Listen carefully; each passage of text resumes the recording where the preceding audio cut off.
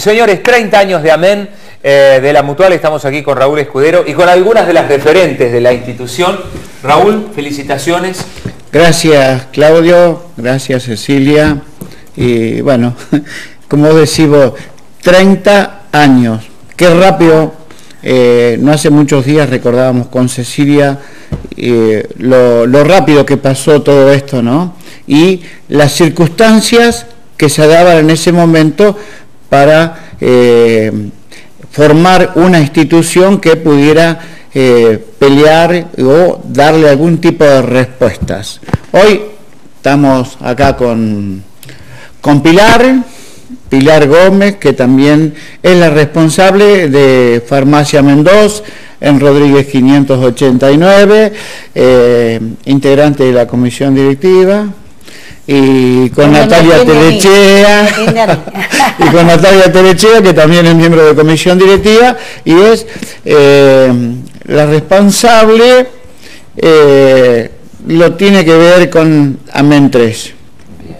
La mejor esquina allá en 4 de abril en 4 de abril ah, y la acera. Pues si no se te van a enojar las otras. No, no, la mejor esquina en 4 de abril y la acera. Y ahí, chicas, cuéntenos, bueno, eh, cada una en su, en su ámbito, pero se genera esa buena onda, esa atención con, el, con la persona que, va, que ya te llaman por el nombre, bueno, a mí porque me conocen, pero yo estoy esperando mi turno y, llaman a los que vienen por el nombre. Cuéntenos eso, cómo se genera también. Eh, sí, ya hay gente que es muy habitual de que vaya a la farmacia, entonces ya cuando entra directamente los saludamos por el nombre o por el apellido normalmente a la gente mayor uno por ahí la llama más por el apellido, eh, así que sí, cuando ellos llegan, ¿qué tal? Buen día, ¿cómo andan? Y bueno, obviamente los atendemos. Cuando hay un cumpleaños de alguno de los empleados, que nos pasa, ponemos el feliz cumpleaños, cuando hay gente cantamos el feliz cumpleaños. Eh, o bueno, si hay que saludar a alguien también, si sabemos el cumpleaños de alguien, también hemos cantado así el cumpleaños es como que ya es más como familiar, ¿no? Es más, pasamos de ser un, negocio eh, a ser algo más familiar. Y hay gente que está, que se siente muy cómoda. También te pasa, hay gente que está mayor, ¿no? En el banco haciendo la cola, que va a horas tempranas al banco y se viene y te dicen, te dejo las recetas, después vuelvo, me vuelvo a la cola, ¿viste? Me vuelvo al banco. Entonces por ahí nos dejan las cosas, se las preparamos. Y bueno, eso es más que nada, pero porque ya te digo, somos como una familia, ¿no? Eh, y, ya pasa la confianza y pero eso eso la gente lo agradece sí sí nosotros también agradecidos vienen con tortas con facturas con todo nos traen siempre eh, en forma de agradecimiento. Y cuando no sabes que hay alguno que por ahí o no llega a fin de mes o no le alcanza o la receta no está en fecha. Entonces o le damos algo algún remedio o tenemos algunas muestras como para ayudarlos y que lleguen o para que para que puedan tener su medicación, ¿no? Siempre intentamos, fuera de que es, una farmacia y vendemos los remedios, le, damos una mano a la gente que lo necesita. ¿Sabes cómo les cuesta a las chicas mantener la dieta, no? Porque eh, los abuelos y viven permanentemente llevándole obsequios, o bombones, o caramelos, o tortas. se sienten cuidadas.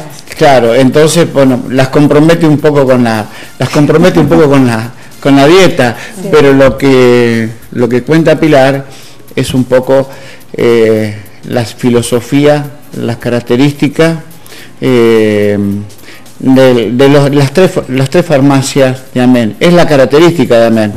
Yo digo, nosotros no somos mejores ni peores, somos distintos, distintos. El trato humano, el trato humano es una de de las cosas más importantes que tenemos.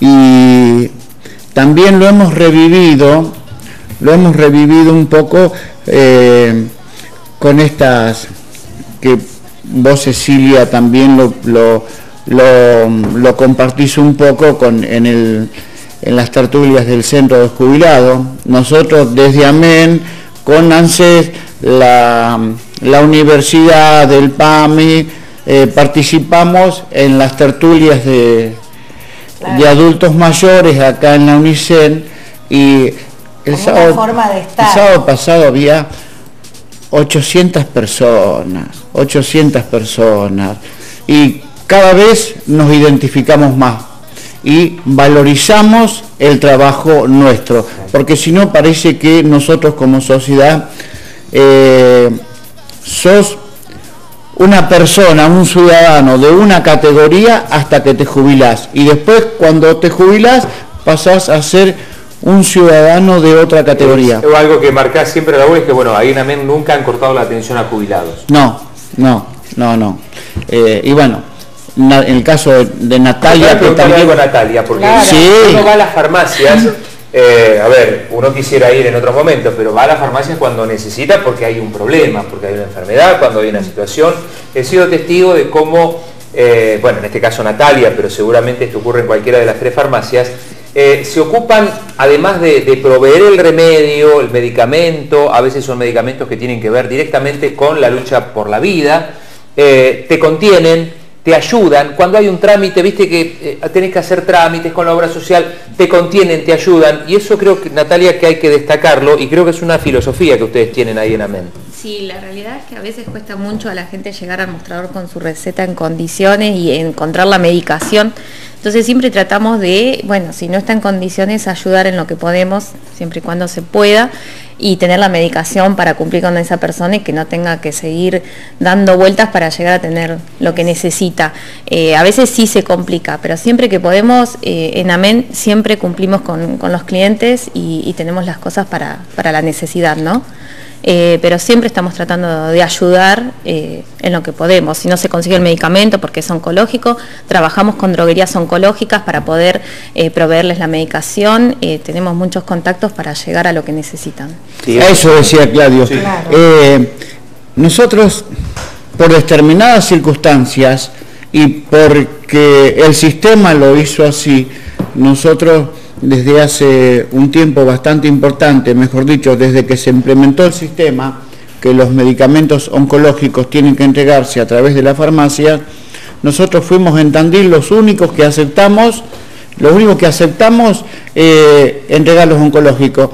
Y, Natalia, Natalia es la persona que recepciona eh, los llamados de la gente para eh, retirar los medicamentos oncológicos y es todo un tema. Es todo un tema y, ella ejerce una gran contención en ese sentido, más allá de lo estrictamente laboral. No, no, por hay supuesto. Que destacarlo. Sí, sí, sí. Raúl, cortito, eh, ¿cómo se va a festejar esto?